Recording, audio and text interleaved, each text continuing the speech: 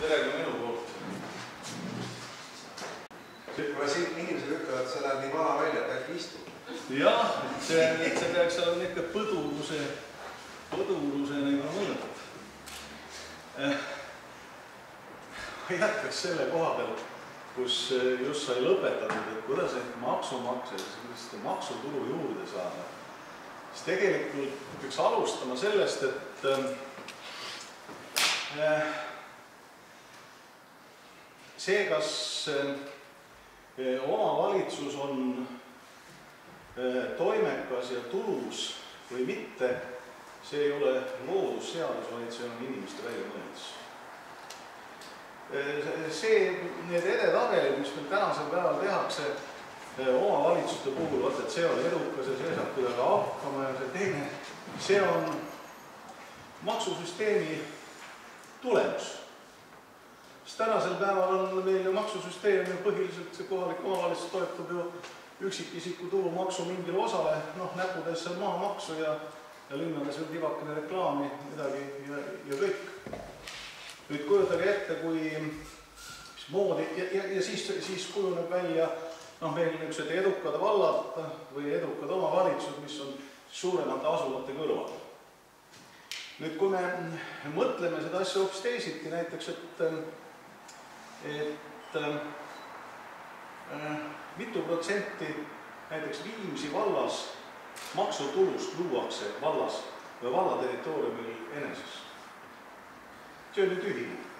ja nüüd, kui me koostaksime ühe niisuguse edetabeli, mitte selle järgi, kui palju iga, noh, kui palju omavalitsus seda maksutulu saab, vaid kui me, kui me koostaksime Eestis niisuguse edetabeli, et me hindaksime ära, kui palju selle valla territooriumil, valla, valla või linna territooriumil maksutulu luuakse, isegi muutmata maksusüsteemi. üks pilt hoopis teine. Tallinna ümbruse vallad oleks kõik pankrotis, kui veel, kui veel võtta koefitsient, näiteks laenukoormus vallas loodava maksutulu kohta, siis Tallinnat ümbritseks tegelikult niisugused kokku varisevad omavalitsused see tähendab seda, et kui me nende asjade üle mõtleme, siis me peame mõtlema kahte viisi. üks on niisugune puht olupoliitiline, mille sisu on see, et vot tänane süsteem on selline ja noh, kuidas me siis noh, ütleme selle asja kuidagi üle elame. aga tänasel päeval me peame tunnistama seda, et, et see, kui rääkida natuke teadusest, siis Kondrativi tsüklite see kakskümmend viis aastat see nii-öelda investitsioonitsükkel, see on läbi saanud. ja seda me tunneme ilmselt praegu kõik igal sammul, kus on noh, Eesti ühiskonnas näha igast otsast, et aa, puudu on ideed, ei ole teada, mida teha. ja, ja teine on see, et Eestis ei ole peaaegu ühtegi eluvaldkonda, mida oleks noh, mis ei tahaks tugevat kõbimist, ma ei taha kasutada sõna reform, see on ikka ära lörtsitud, eks ole, eestikeelne on võõrsõna ja teised ei kõlba. Täna enam viisakas seltskonnas kõnelda, aga, aga põhimõte on nagu selline, et, et, et peaaegu on võimatu nimetada valdkonda. kaasa arvatud, kaasa arvatud näiteks niisugune asi nagu eelarve tasakaal kõigile on, on jäänud justkui viimane päästerõngas, seal on üks ligi, kes hoiab seda kuidagi, seda rõngast, aga ligi ennast hoiab kinni üks, üks vananenud raamatupidamisprogramm, mis juhib siis kogu Rahandusministeeriumit ja Rahandusministeerium juhib siis ülejäänud riiki. aga tegelikult on see kõik minevik. ja kõik see, mis siin toimub, kui väga üldiselt öeldes tegemist on niisugune mineviku täiustamisega ja selles mõttes ma hoi-, kutsuksin teid üles hoiduma tõsiste mõtete juures lähtumast sellest noh, tänasest olust.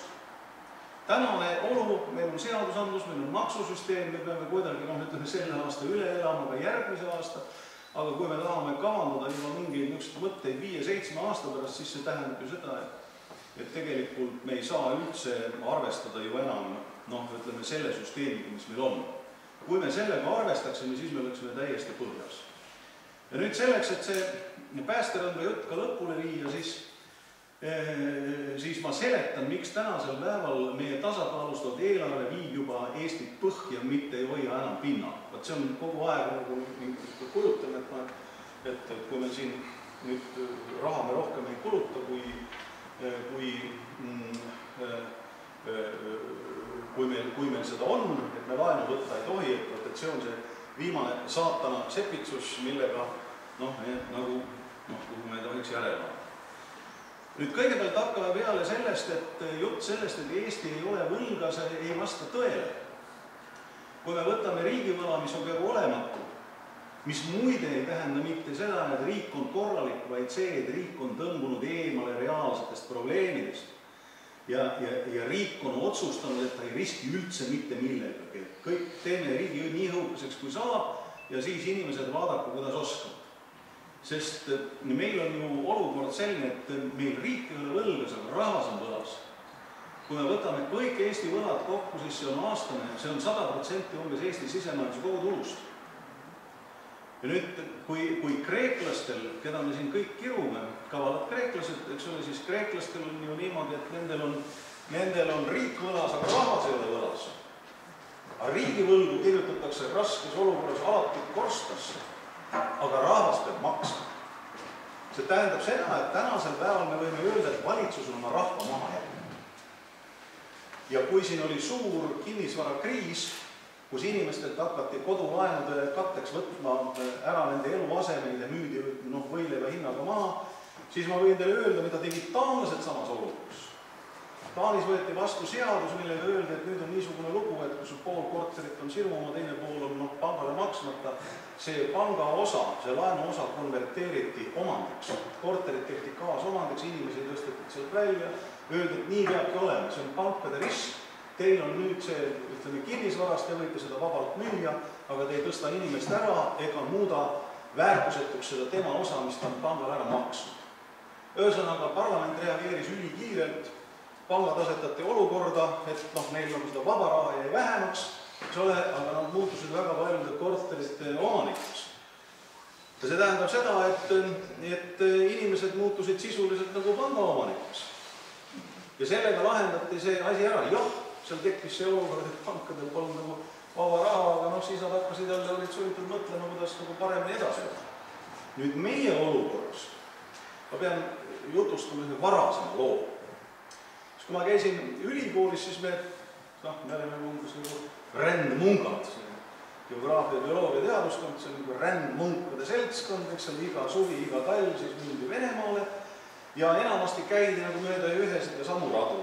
ja siis, kui, siis kui tagasi tuldi, siis tavaliselt oli sedamoodi, et, et siis noh, esimese kuu me koolis ei käinud, jõime õlut ja ja, ja siis inimesed, kus siis meil sõbrad ja tuttavad tulid riburada pidi sealt Venemaalt tagasi ja siis räägiti lugusid umbes nagu ähm, Idrisele seal Sitsiilias, kus siis keegi kunagi ütles, et niisugune linn nagu Tallinn on olemas, kaupmehed tulid, kaupmeeste jutt pandi kirja, no nii, meil täpselt samamoodi. ja meil kujunes välja omamoodi niisugune äh, geograafiline mõiste nagu sama vorstijoon ehk eh, kui on sama kõrgusjoon, noh siis on ütleme kakskümmend meetrit üle merepinna, nelikümmend meetrit, noh kaardi peal on näinud, või siis, või siis, või sama, sama noh, isomeer, sama temperatuurijoon, noh kus on viis kraadi soojus, eks ole. meil oli sama vorstijoon, ehk küsimus on selles, et tulite, kas vorsti poes juba müüdi või ei müüdud enam. Ja aastast aastasse näed, kuidas seesama vorstijoon tõmbub Moskva ümber kokku, eks ole. ja me teadsime, et ja, ja siis meil juba tekkis kahtlus, et kui vorst jõuab Moskvani, siis noh, ühesõnaga ühel hetkel kukub see etendus kokku, ükskõik millal. nüüd meil Eestis on tegelikult samasugune lugu.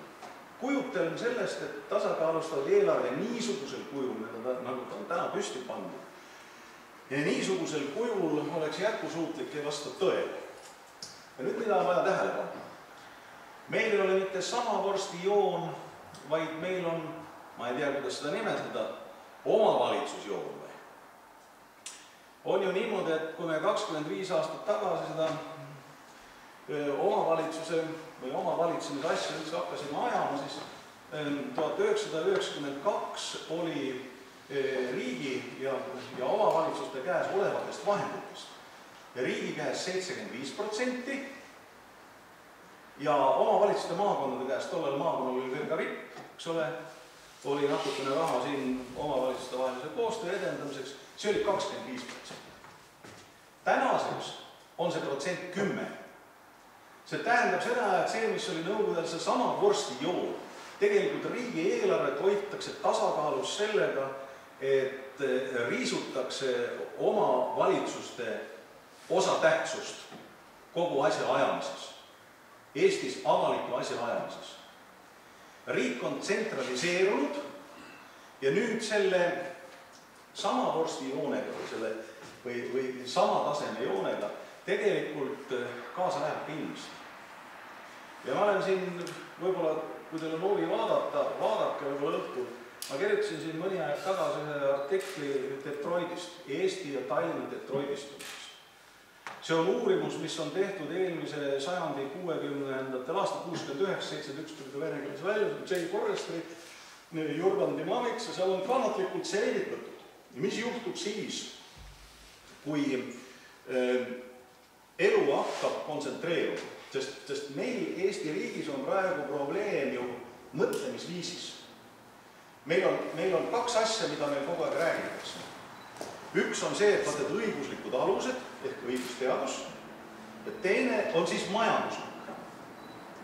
õigusteadus on abstraktne teadus nagu matemaatika, on argument, on funktsioon, lõid nina katki, kaks aastat tingimisi, eks ole. Lõid nina katki teist korda või eriti elajalikul viisil kaks pool aastat, noh ja rahatrahv, eks ole, see on meie väljamõeldis. nüüd tänasel päeval võib öelda, et Eesti riigi valitsemiseks on õigus- ja majandusteadus täiesti ammendunud, sest majandusteadus on kahemõõtmeline. tal on, ütleme, read ja veerud, sisuliselt bilanss, tabel, aga tal puudub ruumimõõde ja majanduslikus mõttes oleks kõige mõistlikum, kui kõik inimesed elaksid ühes majas ja ainukene ühistranspordiviis oleks lift. ja see on utoopia linn, see on Campanella. ja see, et praegu meil on Eestis domineerib õigus ja majandus, on täiesti ennast ammendanud. sest mis on selle ühes majas elamise suur puudus? see puudus on see, et selle maja all, see, see on veel riigi kujunenud, kolmemõõtmest peaks olema veel, veel kera. see on siis see kõige ökonoomsem, see, mis seal ligi ministeeriumis, noh, kuskil seal terel virtuaalselt. Selle suur puudus on see, et selle maja alune ressurss on nii väike, et ta ei pea seda maja ülal. ehk see tähendab seda, et suure kontsentreerumise tingimuses tingimustes kasvavad ressursside kättesaamise kulud. ja nüüd tänasel päeval on seis nagu selline, kui me tuleme nüüd selle kümne protsendi juurde tagasi. kui see jõuab, see on praegu kriitilise piiri peal, mis tegelikult tähendab seda, et, et enamus omavalitsusi enam ei toimi. ehk hääletult me liigume tagasi Nõukogude võimu juurde, sealt, kus me kakskümmend viis aastat tagasi tulime kui te vaatate täna neid nii-öelda edetabeleid kohalike omavalitsuste puhul, siis selles edetabelis te näete seda, et, et elujõulised on, nüüd läheme Nõukogude aega tagasi, vabariikliku alluvusega linnad, Tallinn, Tartu, Pärnu, Sillamäe, Narva, Kohtla-Järve ja Paldiski. Paldiski suuruselt, territooriumilt suuruselt teine linn Tallinna elab ainult maaost, rohkem vaja nüüd maakonnalinnad juba enam ilma tagamaata eraldi välja ei vea. ehk see on see Nõukogude võim, kus see rajooni täitevkomitee oli viimane, kus midagi otsustati, külanõukogu ei otsusta midagi. kõik läheb praegu selles suunas. täiesti noh, ütleme vääramatult ja, ja noh, minu asi niisugune akadeemilises mõttes on seda asjadele avada. ja see praktikas tähendab tegelikult seda, et meil ei ole mitte mingisugust muud võimalust, kui loobuda tegelikult omavalitsuse toimimise, noh, ütleme rahastamise alustest ja, ja nende hindamise alustest. tänased alused on täiesti vanad. nüüd see tasakaal, ma tulen selle tasakaalustatud eelarve juurde veel tagasi. see tähendab seda, et kui see tasakaalustatud eelarve saab toimida ainult tänu sellele, et sa võtad tagamaalt ära võimalikult palju ressurssi, tsentraliseerid seda ja samal ajal muudad valla endisteks külanõukogudes, kus noh, ütleme sünde, surmi, eks ole, registreeritakse, midagi muud eriti ei toimu. kõik ülejäänu on see, mida riik käsib teha. Siis samaaegselt, mida ju riik teeb, noh, tekib justkui tunne, et noh, et näed, niisugune, niisugune õudne olukord on tekkinud, et et me olemegi nii kurvad ja õnnetud, et me peamegi nii tegema, muud üle ei jää. ainult, et mida riik ise teeb. ise, riik ise on asunud Nõukogude mudeli järgi eh, rajama eh, liidulisi, liidulise ehk, ehk Tallinna alluvusega kõikvõimalikke asutusi. Noh, me, me vaatame, kuidas on tekkinud siin nii-öelda kolm-neli teeninduspiirkonda, kus on Pärnus, eks ole, enam maakonna tasandit ei ole, on juba vot seal kuskil Pärnus on mingi mingi Statistikaameti või noh, kes iganes või arhiive peetakse, seda tsentraliseeritakse siis tekivad nagu niisugused liidulis-vabariiklikud ministeeriumid ja alluvuse asutused. nüüd ma juhin veel kord tähelepanu, see kontsentreerimine Pärnusse, Tallinnasse või Pärnusse, Tallinnasse, Tartusse ja Kohtla-Järvele ei ole mitte midagi muud kui seltsimees Stalini plaan oblastiliseks jaotuseks Eesti NSV-s. võtke lahti Eesti entsüklopeedia üheteistkümnes seal on pikalt ja põhjalikult seda selgitatud ja nüüd kogu küsimus on lihtsalt selles, et, et selle taga ei ole mitte midagi muud kui Nõukogude mõtteviisi kontrrevolutsioon, mis on nagu ütleme, vaikselt, nagu öeldakse, võtab maad. ja kui me vaatame praegu seda, mismoodi teatud mõttes eh, praktikas imbuvad interliikumise ideed, ma siin tulin just praegu Rahvarinde muuseumi avamisest, seal on väga uhke, eks ole ahhaa-keskus on siin. enne oli ahhaa-keskus, nüüd on Rahvarinne muuseum. Tallinnas äh, Vabaduse väljakul. Vabaduse väljakul meil Tallinnas on teatavasti kolm ainus, seal on kolm asja. seal on Vabaduse kell Leo Laapil, siis on äh, Vabaduse rist ja Vabaduse garaaž. garaaž on meil seal all. ja seal on nüüd ka ahhaa, Vabaduse ahhaa, eks ole. ja, ja see on ju näha, kuidas näiteks tänase avamisel toimus Ehm, avakõnet ei peetud enam laitmatus eesti keeles. avakõne peeti suhteliselt konarlikus eesti keeles ja see loeti paberilt maha. väga huvitav tähele. seda õhtul ilmselt äh, Aktuaalses Kaameras ka näidatakse, vaadatakse. detailid on teinekord väga reetlikud.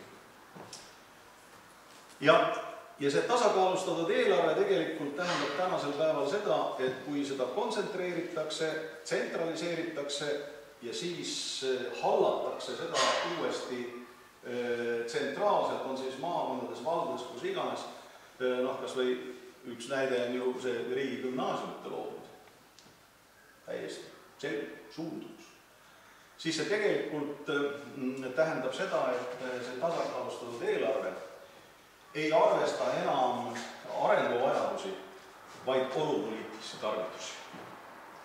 igasugune eelarve, mis on üles ehitatud ainitiselt olupoliitilistele tarvidustele, viib ühiskonna põhja.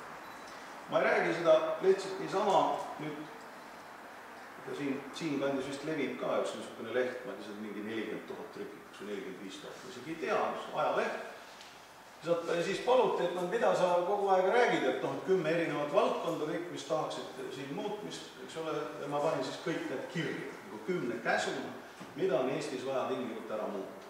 ja see maksuseadus ja, ja see, mis puudutab kohalikke omavalitsusi, noh, see on, see on ainult üks. sellepärast, et tänane haldusreform, see, mida tehakse, on ebateaduslik. sellel ei ole mitte mingit pistmist tõsiasjadega sellepärast, et kui nüüd ühel hetkel teatate, et valige välja tõmbekeskused, siis on noh, nagu öeldakse meie eriala inimestel jaoks nagu teatud mõttes nagu naljanumber, sellepärast et esimene, kes maailmas üldse asutussüsteemi hierarhiaga tegeles, oli Tartu Ülikooli hilisem rektor Edgar Kant, kõikide Eesti majandusgeograafide iidol, iidol maailma nimi, sai Prantsuse Teaduste Akadeemia kuldmedali aasta kõige moodsama teadusuuringu eest kolmekümnendate aastate lõpul Need on täiesti selge, et Eestis on kuue, kuuetasandiline hierarhiline asutussüsteem välja kujunenud, mida ei saa poliitiliste väitlustega muuta selleks ega teiseks. Poliitiliste väitlustega ei ole võimalik panna vett voolama ülesmäge ja, ja nüüd küsida, ütleme koha peal, et mida te peate tõmbekeskuseks, on täpselt sama hea, kui, kui Kopernikuse ajal oleks kutsutud katoliiklikud massid kokku ja küsitud nende käest, kas maa tiirleb ümber päikese ümber, või päike ümber maa. Selleks, et see, et tõsiasi selgeks teha, oli vaja Kopernikust, ei ole vaja teha küsimusi. Need asjad on ikka ammu olemas. Ja nüüd küsimus on selles, et kui me tahame seal, kui me valdu korrastada, tuleb öelda, millise astme hierarhiale me toetame.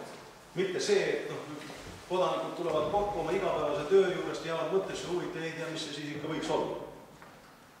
täiesti arusaamatu. sügavalt voluntaristlik, raiskav ja, ja, ja tõenäoliselt ühiskonnale kahju tekib. ja nüüd sellega seoses on mul loomulikult küsimus selles, et, et maksuseadust tuleb ümber muuta. see on täiesti selge, et see, mis kunagi minu käsimängus kakskümmend aastat tagasi sai see maksuseadus tehtud, et kohalik omavalitsusel põhiliselt toetub üksikisiku tulumaks, oli tol ajal õige.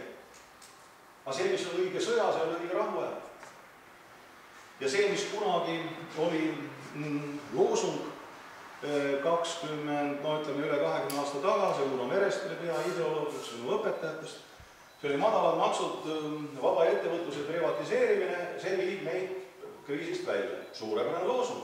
ainult selle loosungi oli taga otsas veel üks lause eh, kümneks aastaks. kriisist väljatuleku programm. nüüd, kui sa selle võimendad üle, siis sa oled teisel pool kraavis, kus me tegelikult täna oleme ja nüüd on tekkinud niisugune olukord, eks ole, et ühelt poolt rahvas on võlas, riik võlas ei ole. mida rahvas teeb? talle andeks ei anta, rahvas läheb välima, välismaale tööle, maksmaks Eesti, tagasi Eesti laene. perekonnad lähevad laiali, eks ole, noh, mis, mis on teatud mõttes paratamatus ja kõik, mis sinna juurde kuulub ja, ja, ja, ja, ja seda maa, seda laadi nagu dogmatism noh, mis ei taju nagu seda ühiskonna noh, olemust nagu taibata hästi toimuvaid asju, see on see, mis, see, millel ei ole tulevikku.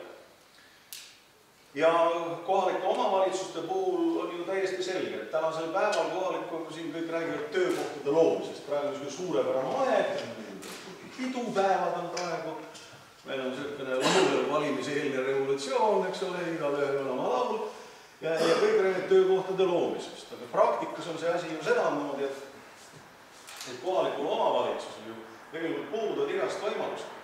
kohalikul omavalitsusel ainult üks asi on planeering, kui sa planeerid kuhugi sinna no mingisuguse koha, kus, kus, kus edendada tööstust või noh, midagi, midagi seda laadi, mis võiks töökohti tuua ja see on kõik.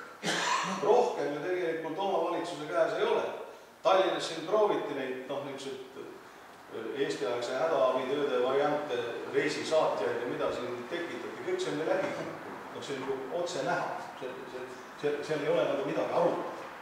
ja noh, ütleme nendest Tallinna ettevõtmistest siin läbikukkumisi on ju teisigi, no kõige, kõige kurvem on muidugi see, on Euroopa, Euroopa kultuuripealinn. See on see, mis üheks aastaks kogu Euroopa pilgud toob mõnesse linna, kus tullakse külla ja harjutakse käima, noh turismisüsteem pannakse käima, tehakse midagi, ehitatakse hotelle juurde. Tallinnas magate see maha, seal kõigepealt magati maha, siis, siis kasutate seda valimiseelseks etenduseks ja lõpuks kuulutate, et Euroopa kultuuri peal, pealinn põhiliselt meie oma inimeste jaoks, eks ole. Euroopa andis raha juurde, siis sai neid tasuta kontserte nagu rohkem teha ja, ja tänasel päeval näiteks see, et, et valdavalt kohalik omavalitsus elab üksikisiku tulumaksust, pole normaalne. sest pärast seda, kui see süsteem kehtestati, on meil tõusnud oluliselt kaudsete maksude osatähtsus. Praegu maksumaksjaid, öeldakse, et vaata, et maksumaksja on see, kes käib tööl, see ei vasta tõele. äsja sündinud laps on maksumaksja, teda esindab poes, kus antakse käibemaks ära, kas tema isa, ema, vanaema, vana, noh, kes iganes, eks ole ja muldvanad inimesed on iga päev leiba ja piima ostes on samasugused maksumaksjad. ja selle osatähtsus on ju riigieelarves vaata kõige suurem.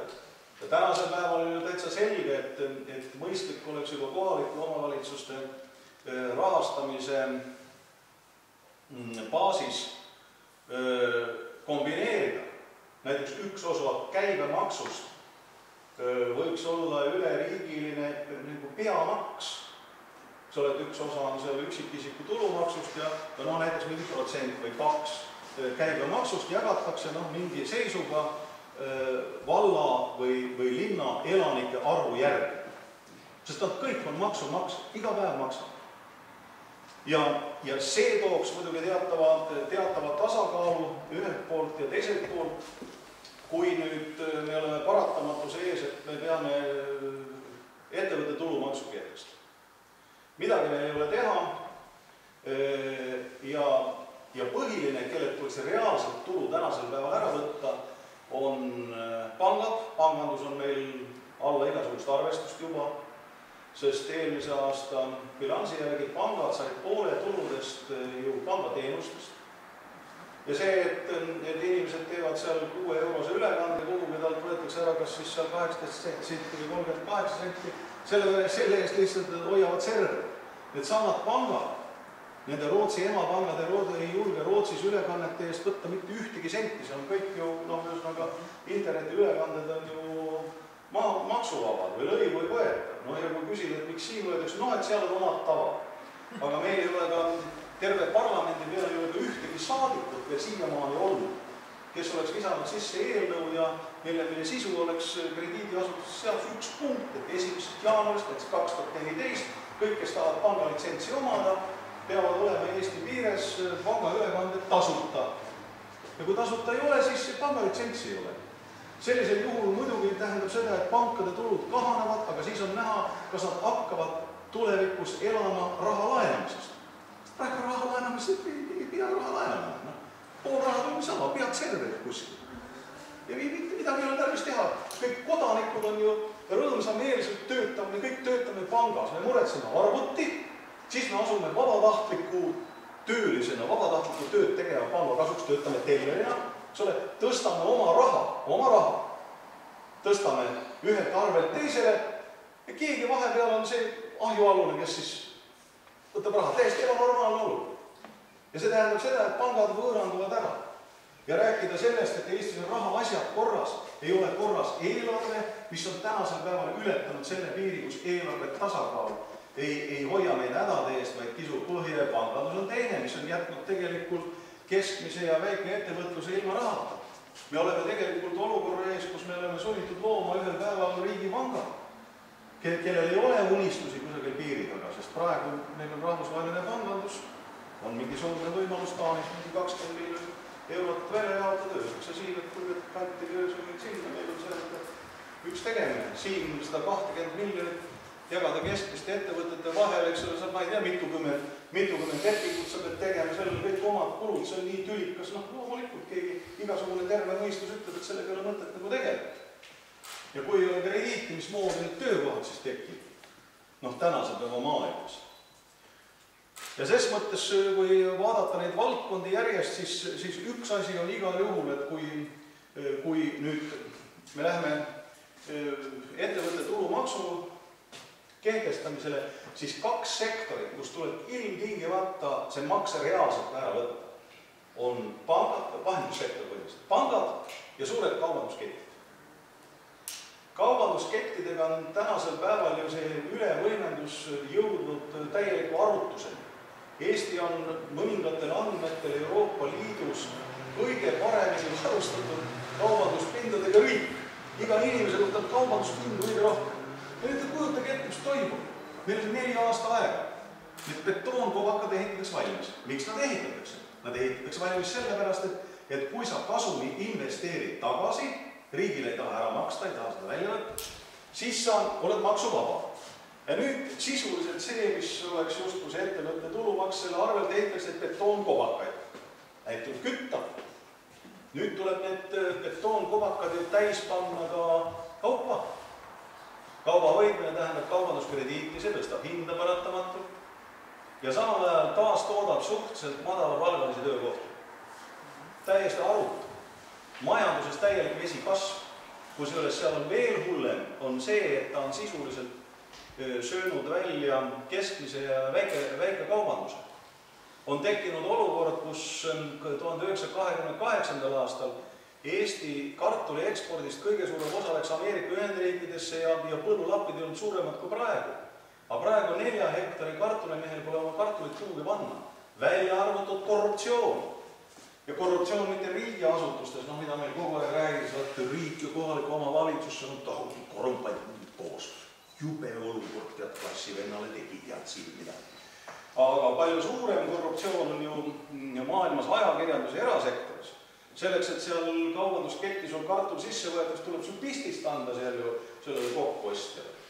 nii käib see asi ja samal ajal riik on eemaldunud, sest kui tuhande üheksasaja kahekümne kaheksandal aastal viidi viis tuhat tonni, noh, korraga laevadega viidi seda kartulit Ameerika Ühendriikidesse, siis tollel ajal oli ju ETK, mis oli hilisem see varumiskontor, seal kartul sorteeriti ära, nelja hektari mees ei saa seal Bostonis mingit kaupa teha. Siin peab olema see, ütleme, mittetulunduslik vahendus, kus siis kaup sorteeritakse, nii nagu poolakad suruvad meile siia sisse oma kartulit. Nendel on see süsteem kõik säilinud. meil on see süsteem olematu. ja nüüd on niimoodi, et ETK on muutunud sellest kunagisest, mis aitas tarbijat ja, ja koopereeris, kas või selle kartuli sorteeris ära ja, ja müüs siis hulgi noh, tugeva õigusega kuhugi, kas siis kodu või välismaale, siis tänasel päeval on ju ETK ju ikkagi selline organisatsioon, kes on külapoodi viinud ka monopoolsed hinnad. ja on tekkinud ju olukord, et keskmist ja väikekaupmeest ei ole. näiteks Tallinnas on ju näha seda, et sellel nelja hektari mehel ei ole oma partnerit linnas. noh, kus tal on seal nurgapood, mina, mina elan vanalinnas mina jälle olen pidanud niisugust territoriaalset arvestust, kui kaugele on minust kauplused eemaldunud. kauplused eemalduvad. Eks ole, enam, enam seda nurgapoodi ei ole, kus sa ostad noh, oma tavalised asjad ära, leiva, piima ja tüki liha ja ja kui nägu on tuttav, siis pannakse sulle see tükk valmis ja, ja, ja noh, sedamoodi. nüüd on niimoodi, et noh, et on need kaubakeskused ja ma pean seal vantsima, ma saan aru, et see on väga tervistav, eks ole, inimene peab jala käima, aga noh, selleks, et sa piimaletini jõuad, pead sa seal mähkmed ja viinaletid kõik läbima, eks ole, kindlameelse pilguga, et sealt pärast tagasi tulla. No selleks, et, et see, et see asi üldse toimiks ja, ja, ja seal selles kontsentreerumises tähendab seda, et, et nendelt kaubakettidelt tuleb ära võtta reaalselt tulumaks, et keskmisele väikekaubandusele saaks teha soodust. muidu ei ole seda üldse võimalik. et tekitada siis ka juba väljaspool linna keskmisele ja väike, väiketootjale teki- te,, tekitada müügivõimalus. ja nii need töökohad tekib, ega teisiti praegu mingit niisugust otsest kujutelma, et, et siin on meil noh, volikogu esimees või linnapea või vallavanem, kellel on see töökoha loomise lipp, nii see asi üldse ei käi ja muidugi, kui me räägime, räägime siin Haapsalust, eks ole, no siis Haapsalus on noh, ütleme, see töökoht ei ole ka niisugune abstraktne. See abstraktne võib olla seal kusagil Majandusministeeriumi jälle mingis arvutis või, või Sotsiaalministeeriumis seal Rõivase, noh, noore Rõivase, Tallinnas teatavasti paeti nimetatakse vanaks Rõivaseks. eks ole, noh kuna, kuna ma ei tea, palju see teieni jõudnud, aga noh, Tallinnas, kuna üldiselt katel keeb üsna innukalt ja rahulolematus on suur, nii ikka mäss hakkab pealinnas, siis on ju niimoodi, et, et ministeeriumid jagunevad siis noh, kahte ossa, et üks on siis edetaber tagurluse ministeeriumis, kõige tagurluse ministeeriumi juhib, juhib rahandusministeerium, see on see tagurluse noh, ühesõnaga kants. aga siis on mugavusministeerium, mugavusministeeriumite puhul käib vaidlus, et kas see on sotsiaalministeerium või on see välisministeerium. Ja on kokku lepitud, et see on peaaegu üks ja sama, lihtsalt see paet on vana rõivas. et kui rõivas saab vanaks, siis ta on nagu paet, eks ju, nii, nii, nii seda. ja, ja, ja, ja põhimõtteliselt see, see tähendab ikkagi, tulles jälle tagasi asja juurde, ja see tähendab seda, et töökohtade loomine ei ole tänasel päeval noh, niisugune kellamehhanism, et keegi keerab selle mehhanismi kuskile ülesse ja, ja siis nii palju, kui seal vedrus väge on, nii palju neid töökohti hakkab kuskilt tulema, tiksuma vaikselt. see ei tööta, see, see, see ära unustada. See tähendab, see tähendab tegelikult seda, et et selleks, et töökohta üldse tekiks, on vaja Eestis üldisemat reformi. kui see, kui see teile huvi pakub, ma võin sellest, nendest kontuuridest rääkida. ja, ja alati töökoht ei ole abstraktne, ta on kohapõhine. on mingid tüüpi tööd, mis sobivad Tartusse, sest Tartus on professorid, aga siin professorid ei ole. sellepärast, et ei ole ülikool.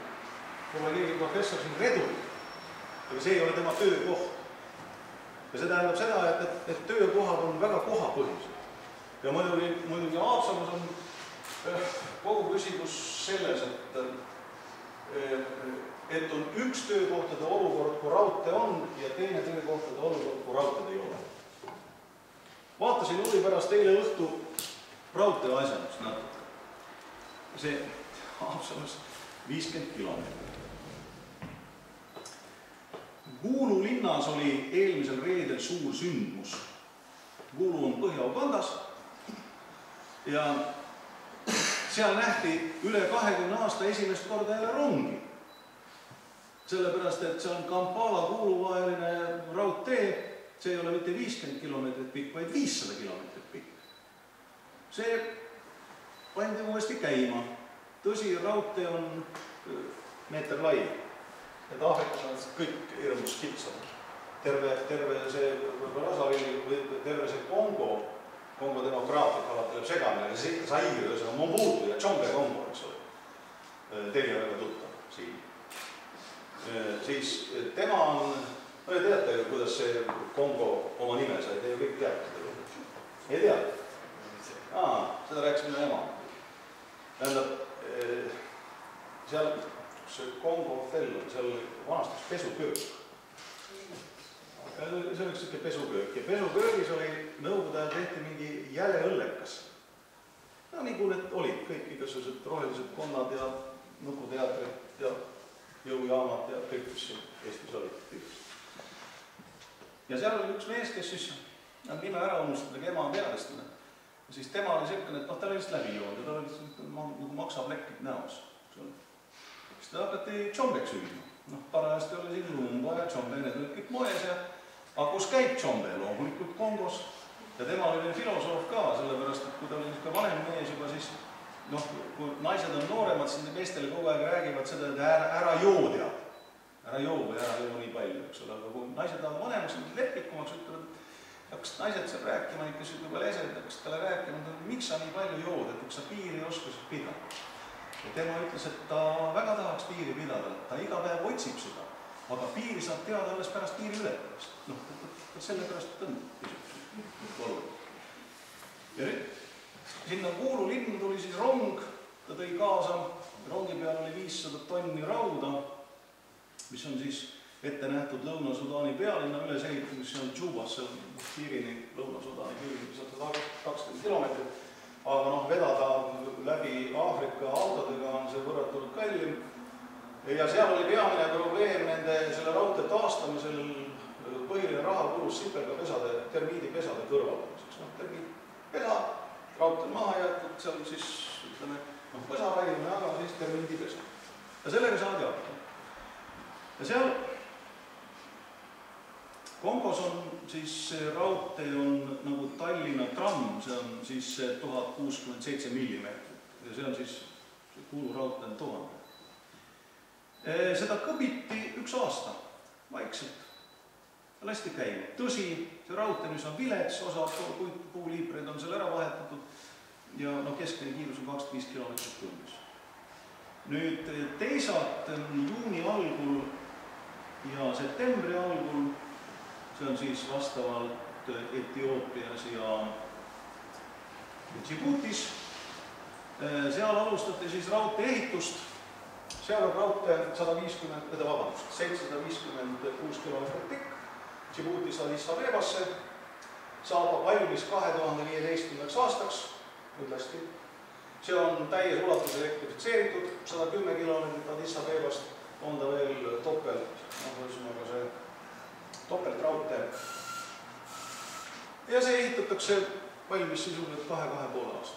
see tähendab iseenesest raudtee ehitus ei ole mitte mingi probleem, see ei ole mingi raketiteadus, see ei ole seotud üldse sellega, et kas kusagil on raha või ei ole raha, sest Haapsalu raudtee ehitamine tegelikult noh, niivõrd, niivõrd odav, eks ole, võrreldes võrreldes Djibouti ja Addis Abeba raudteega, selle raudtee kilomeetriga. et noh, see nagu ei vääri isegi märkimist. ja nüüd Haapsalu jaoks on nagu oluline tegelikult see, et mis tüüpi, kui raudteed ei ole, mis tüüpi töökohad saavad siin üldse olla. ja kui raudtee on, mis tüüpi siis saavad. ja see tähendab seda, et see eeldab seda, et teine ots on teada, teine ots on tinglikult siis Tallinn, Helsingi või siis Peterburg, eks ole. see on nagu see teine ots ja siinpoolses otsas peab siis olema midagi niisugust, noh, mis, mille pärast siis tasub nagu sõita see võiks olla seotud jällegi omamoodi ka riigireformiga. kui praegu püütakse kõike kontsentreerida või koondada kõike Tallinnasse, siis mina väidan seda, et, et see mõte, et Riigikohus ja Haridus- ja Teadusministeerium viidi Tartusse, oli väga õige samm. Kõik virisevad muidugi praegu, et oh, näed, nad peavad siin Tallinnas oma esindust ja tead, see ongi niisugune poolterav ja ja umbes, et see Haridusministeerium nagu ei töötagi, vaat teised on siin kõik palju tõhusamad, mina väidan tegelikult üks vastupidi. ma väidan seda, et, et tema probleem on selles, et ta on ainukene väljaspool Tallinna. aga kui näiteks viis või kuus ministeeriumit oleks väljaspool Tallinna, meil on e-riik. no näiteks küsime, miks peab olema Põllumajandusministeerium laial tänaval? esitame selle küsimuse. Võib-olla võiks objektile lähemal olla, näiteks Mäo-Ristis ehitatakse valmis neljarealine tee, Brüsseli ametnikud, nad on harjunud, kui nad kuhugi lennuväljale tulevad, et ministeeriumisse jõudmis vaja tund aega, no ja sõidavadki. ühel hetkel avastavad küll, et sõidavad mingite metsade vahel kuskil, sulle sõidad teisele poole, aga enne avanebki ministeeriumi hoone, ministeeriumi aknast on vähe voogavad viljapõlnud, eks ole, lehmad söövad kuskil, eks ole. kõik, nagu öeldakse, ollakse objektid et kui me mõtleme Keskkonnaministeeriumi peale, siis Tallinnas Keskkonnaministeerium on Eesti kõige keskkonnavaenulikumas kohas. ETK kvartalis ja ükskord ma kiusasin ühte eelmist ministrit ja ütlesin talle, et vaatame sinu aknast välja, mitu elavat puud me näeme. kuna see vaateväli on niisugune pisike, kolm puud leidsime, mida noh, ütleme silm seletab, edasi on juba seal Naissaare aegna ja Viimsi, seal juba enam silm ei seleta. silm seletab kolm puud, eks ole nüüd eh, Keskkonnaministeerium, noh, kui ta on niisugune ressursi noh, kallatuga eelkõige, eh, siis ta võiks olla näiteks Kohtla-Järvel, Jõhvis. tuhamäed, Volgokse mäed silma ees, tossavad korstnad, kõik suurepärane, pidevalt, nagu öeldakse, vaade tööpõldu. kui ta on niisugune looduskaitse eh, hoiakuga, siis ta võiks olla näiteks Pärnus või Haapsalus ministeerium. mis siis ikka? see tähendab ei mitte midagi muud kui kahtesadat ähm, kõrget kvalifikatsiooni nõudvat töökohta.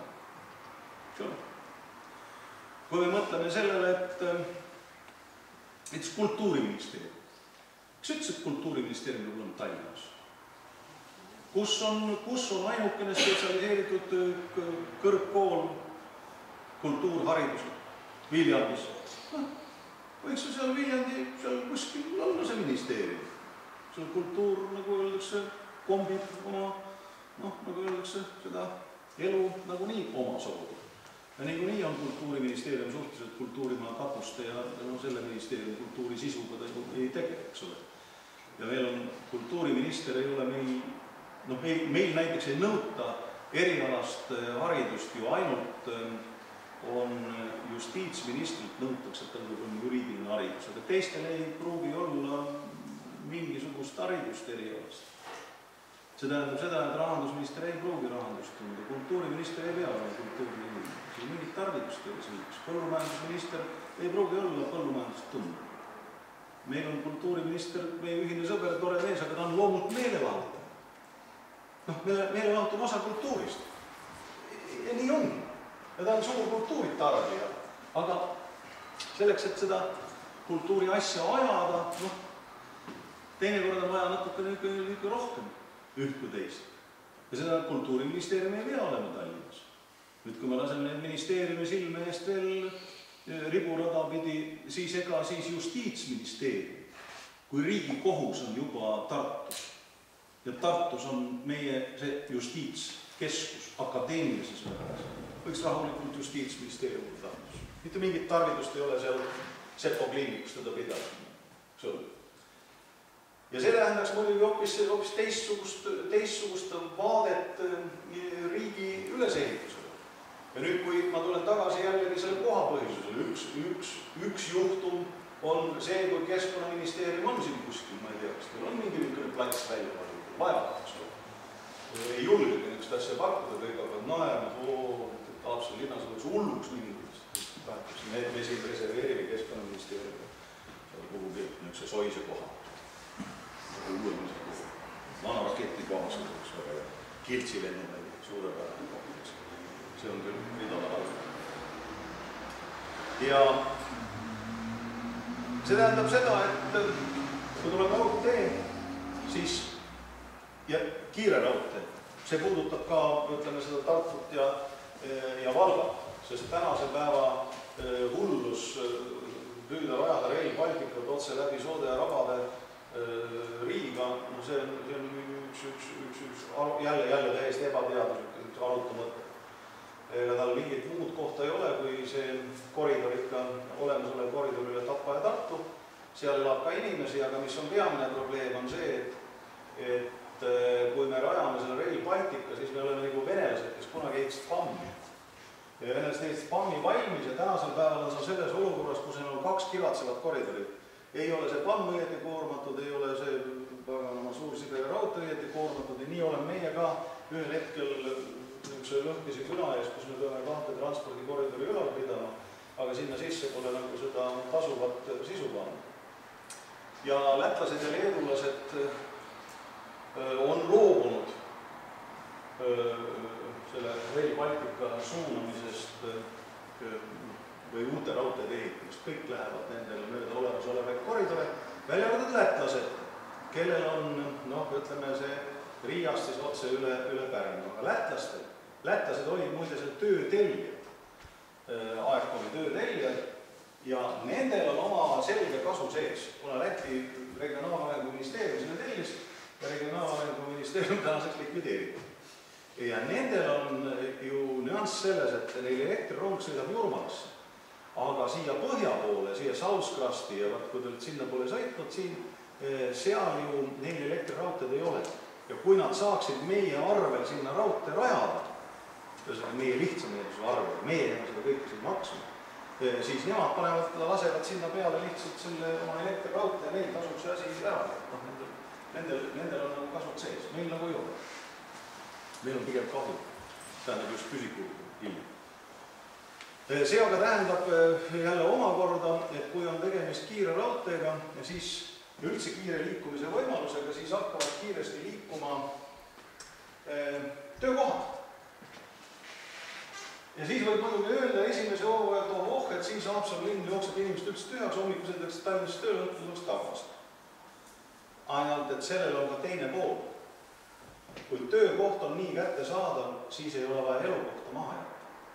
sest see, mis me täna Eestis näeme siin kahekümne aasta jooksul, on ju see, et koos selle omavalitsuste paljaks riisumisega, eelarve tasakaalu nimetust, on viidud ühiskond tasakaalust välja ja, ja seal on ju selline olukord, et inimesed tulevad Kesk- ja Lõuna-Eestist ära. aga mis on selle efekt? efekt on see, et elukohad jäetakse maha, kinnisvara väärtused vähenevad, Tallinna all võetakse laenu, et muretseda uus eluase, laen võetakse kogu eluks, kolmkümmend, nelikümmend aastat. mis tähendab sisuliselt seda, et varade väärtus liigub inimestelt pankadele ja pankadest edasi. nüüd kiire liikumine, eriti kui see ühitada veel tasuta maakonna ühistranspordiga, sest on ju maakondades ju pool ju nii, kus juba üheksakümmend protsenti on dotatsioon, mitte see Tallinn on kuuskümmend viis, mille pealt see tasuta transport tehti, siis kolmanda astme piinamisel ikka asjatundjad ka ministeeriumitest räägivad juba, et et võib-olla oleks mõistlik minna selle peale, et ka maakonna bussiliinid oleks tasuta. Ja, ja Eesti rahvas oleks näiteks kindlasti nõus sellega, et kui me siin arutame niisugust jällegi niisugust mingi minevikulist, ma ei tea, minevikulist mõtisklust selle üle, et vaat, et meil on nüüd töötuskindlustuse maks on seal kaks pool protsenti. et vaat, et meil on seal palju raha töötuskindlustuses, võtame sealt raha, inimesed ei too palju raha kätte. võtame väiksemaks, vaat pool protsenti ja tegelikult kui inimestele öelda, et sellest poolest protsendist teeme üleriigilise äh, ühistranspordi kindlustus noh, kassa, nii nagu on haigekassa. Ja teeme maakonna bussiliinid, teeme ka tasuta ühistranspordi liigiks, mis annaks võimaluse lasta liikuma inimesed see annaks võimaluse kõik need koolibusside tasuta süsteemid noh ära kaotada. lihtsalt kui buss sõidab koolimaja uksest mööda, siis, siis tund algavadki. kui Arno isaga koolimaja jõudis, olid tunnid tõsi juba alanud, aga, aga öeldaksegi, täna on noh, teed on lumised, buss jääb hiljaks enne tund, tund, tundi ei alustata lihtsalt, noh, osa lapsi on kohal, noh, tegelege millegi muuga, eks ole. ja, ja, ja, ja need asjad saaks nagu selles mõttes ümber korraldada, mille, mille peamine iva oleks selles et eh, kui lasta liikuma töökohad, siis inimesed ei pea oma elukohti maha jätma ja nende väärtused päästetakse või noh, vähemalt osa. ja eh, Haapsalu puhul tähendaks see esimese hooga muidugi seda, et, et eh, Haapsalu hakkab Tallinna arvel elama, vähemalt praeguse süsteemi peale. ja kui käiaksegi Tallinnas rohkem tööl ja teenitaksegi rohkem raha, siis ja õhtul tuuakse rongiga see maksutulu juba Haapsalu kassasse. teiselt poolt, jälle kui mõelda niimoodi, et eh, Keilast Tallinnasse või kiire rongiga Keilast Haapsallu sõita on võib-olla ajaliselt enam-vähem sama. vahemaad pole tähtsad, tähtis on aeg.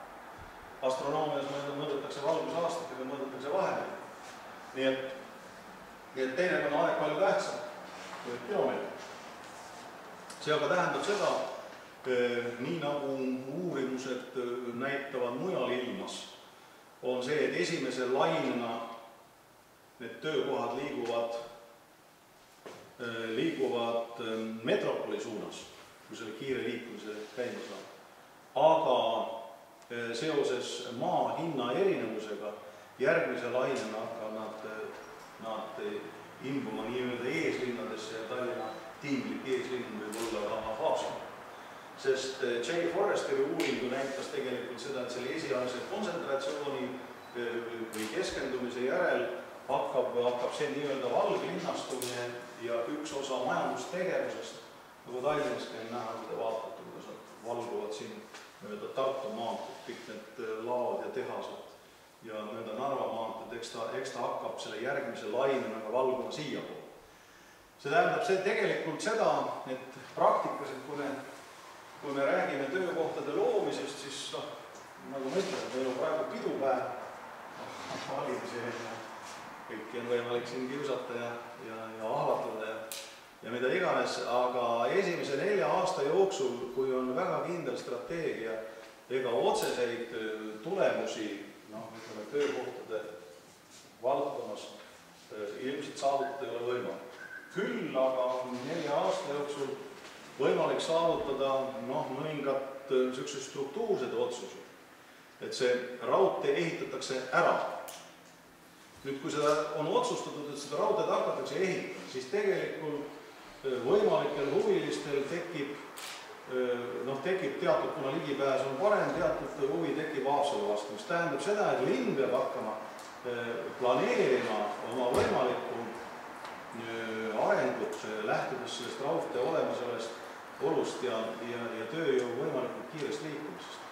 see tähendab seda, et mingi koht peab olema kas siis ütleme, tööstuse, teeninduse või millegi muu jaoks noh, kuhu piltlikult öeldes, kui keegi tuleb uksest sisse, ütleb, et ma tahaks teha seda, seda, seda, raha nagu justkui oleks, et siis sellisel juhul peab olema koht näidata ehk teisisõnu öeldes, et kui väga lihtsalt öelda, et, et kui raha läheb lendu, siis tal peab olema koht, kuhu maanduda.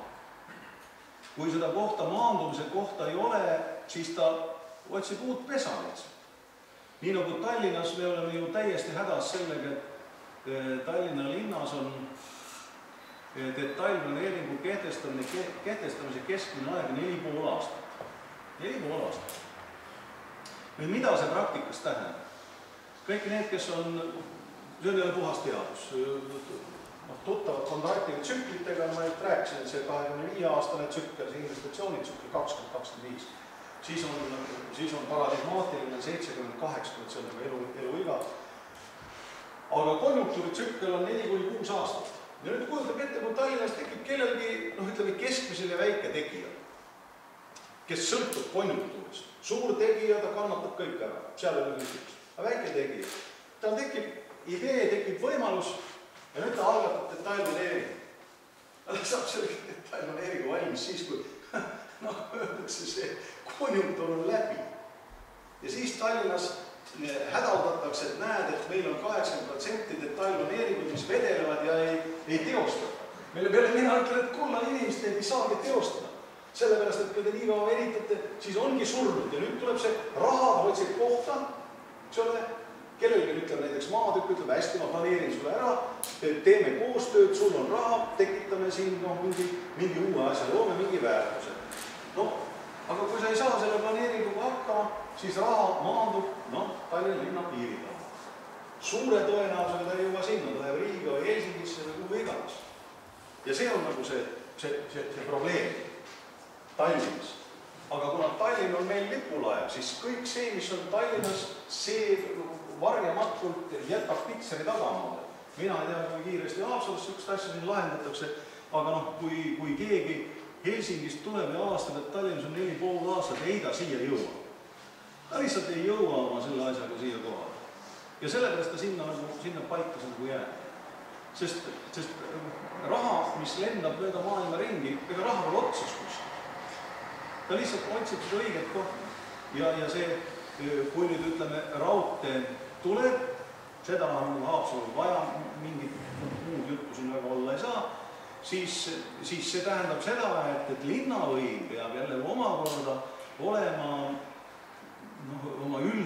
üldplaanis valmis eh, selleks, et tekitada olukorda, et kui see raha siin kusagil õhus lendab, et oleks maandumise koht, prospektid väljas, mida iganes, eks ole. see, kuidas seda nagu keda ja kust teavitada, on juba omaette lugu. ja nüüd see, mis tüüpi neid asju siin linnas ja linna ümbruses edendada, noh, neid on ju ka päris mitu, eks ole, noh, alates, alates kõikidest nendest linnuvaatlejatest, sest noh, ütleme see kant, mis siin on, on ilmselt maailma üks Euroopas kindlasti üks parimaid kohti, kus on kolm asja koos. tohutu palju linde väikesel territooriumil lendavad ringi eh, ning kui võtta üks niisugune mõõt nagu asfalttee keskmine kaugus linnuvaatluspunktist ja linnuvaatluspunkti keskmine kaugus Euroopa tasemega hotellist, siis ma kahtlustan, et see on üks, üks, üks parimaid kohti kui seda on võimalik veel edasi edendada, ma olen kunagi ikka vahepeal kiusu pärast küsinud, et, et mitu meetrit on Aeska linnuvaatlustornist asfaltteed, eks ole. noh, siis ja seda näiteks äh, soomlased ei kannata seda välja. sest soomlastel on niipea, kui need linnud siit, äh, see koridor läheb äh, seal Edela-Soome kohal, see lindude parv hajub ära. et meil on siin väga niisugune kindel koridor, selles mõttes siit kuni Nõani ja noh, Matsast ma ei hakka üldse rääkima Matsul on muidugi natuke tülikas ja hirmus soin, eks ole, aga noh, need linnuvaatajad, nendel ükskõik, eks ole. ja noh, mere, mererannal on neid noh ka, eks ole, ja nüüd, nüüd küsimus on selles, et et, et tuleb nüüd teha see kohalike väärtuste inventuur, eks ole, noh, kas või see mudahunnik. noh, mudaasjad ei saa siin muidugi eriti edendada, sellepärast, sellepärast, sellepärast, et linnapea naine hakkab seda edendama ja siis kohe on kadedus ja korruptsioon, eks ole aga tegelikult on küsimus ikkagi selles, et, et, et mudaga võiks ikkagi mitu tuhat inimest aastas rohkem kokku määrida ja kui, kui see Haapsalul on kätte saanud. ja, ja kui seal pulla peal ikkagi Aleksander Kolmanda mälestusmärk korda teha ja riputada see kõrgele taevalaotusele, siis ju see Peterburist tulek, on korralik rand, eks ole, ju see Peterburist tulek on ka natukene kui ikka teistsugune. sest venelaste igatsus siia Balti mere järele on, eriti noortel venelastel, kelle jaoks on see taas välismaa ja, ja noh, nendel seda Venemaal on ju väga huvitav, viimase kolme-nelja aasta jooksul on kadunud ära niisugune mõiste sisuliselt nagu viismine Zarubežia. vaat see lähisvälismaa, mida oli see, mis oli kunagi Karaganovi doktriin, seda praktiliselt ei kasutata enam. ehk, ehk on kasvanud peale põlvkond, kus Eesti, Läti, Leedu on välismaa, Ukraina ei ole Venemaa, see on see, mida Putsmaa ütles, Rossija, Ukraina ja Rossija, ise tal vene keel, eks ole, üldiselt. ja teise keelena kasutas ukraina keelt, nii et noh, nagu selles mõttes on siin niisugused muutused suhteliselt soodsad ja ja kui nüüd mõelda näiteks ka sellega, et, et nad noh, nagu harjuksid selle Eestiga rohkem ära, eriti noored venelased, siis kui see raudtee läheks üle Tartu ja Valga, kusjuures see ei pea üldse olema see kahesaja neljakümne kilomeetri, no mida me sellega teeme? see on üle, kui ta üle Valga läheb, siis on ajavahe kakskümmend minutit. ja kui ta sõidaks sada kuuskümmend kilomeetrit tunnis, nagu neegrid ehitavad Etioopias, seal hakkab reisirong sõitma sada kuuskümmend kilomeetrit tunnis. meil, no ei saa, no ei saa üle väga lähedale valgete inimeste maa. aga, aga see tähendaks jällegi seda, et, et kui ta läheks üle Valga, siis on ilmselt võimalik venelastega seda kaupa teha, et Peterburist Riiga teatavasti kõige lühem rongitee on ju üle Pihkva, Petseri, Võru, Valga ja sealt. kõik muud teed on üle saja, saja viiekümne kilomeetri pikemad. ja kui Valgas oleks seal rataste vahetuse koht ja oleks niisugune korralik rong ja, ja, ja noh, ju nendele, ju nendele venelastele ikka seda Euroopa toitu ja Saksa õlut on vaja vedada, seal ju saab neid nende jaoks ka rattaid vahetada, nii et noh, iseenesest see tooks nagu venelaste niisugused reisi- ja kaubavoogused ka kaasa. aga see, see aga tähendab omakorda, et nad noh, nagu harjuksid siin, harjuksid siin rohkem käima. ja venelased on rongirahvas. sellega tuleb lihtsalt arvestada, nad on rongirahvas. Venemaal pole kunagi teid olnud, siiamaani ei ole veel Peterburist Moskvasse korralikku autoteed, siiamaani, aasta kaks tuhat kolmteist. ei ole, no, noh, natukene on ja natuke ei ole see miilitsa vilk töötab ja töötab, meil Tallinnas on niisugust loosungit siin praegu püsti. noh, ja ja, ja, ja, ja ses mõttes on seal noh, me peame nagu, ma tahan selle jutuga öelda seda, et me peame mõtlema üldse teisi, et kui me, kui me esitame enesele küsimuse, et kuidas me tekitame töökohti, siis see ei ole nii, mingi, mingi otsetee noh, kaardi peal, mida tõmmatakse joonlauale see asi on nagu palju keerulisem, et, et ta üldse, üldse noh, see asi pidama jääks. võib ju tekitada hädaga mingi niisuguse ajutise olukorra, kus saab statistiliselt näidata, et vaata, töökohti nii, nii palju juurde tulnud, eks ole, nagu see Tallinna see reisisaatjate katse oli, mis läbi kukkus ja seal on tehtud muidki, aga põhimõtteliselt ikkagi see olukord on selline, et see vajab teatud struktuurseid muudatusi, et see püsima jääks ja, ja see on teatud mõttes koha põhi.